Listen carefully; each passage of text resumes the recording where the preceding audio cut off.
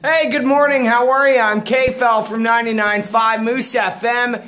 And here's what we got for you in the MyMuskokaNow.com newsroom. Norm Miller sending out a big shout out to the Cavalcade Band of Bears. We got those details for you.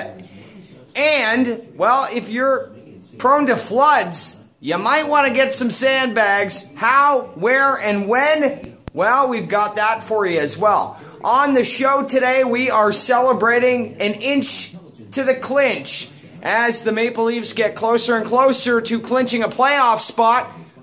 I'll tell you what they need to do to get that playoff spot as well. Baseball movies. Mayor Graydon Smith, Deputy Mayor Rick Maloney, and I got chatting about Major League yesterday, and there's a lot of beauties out there.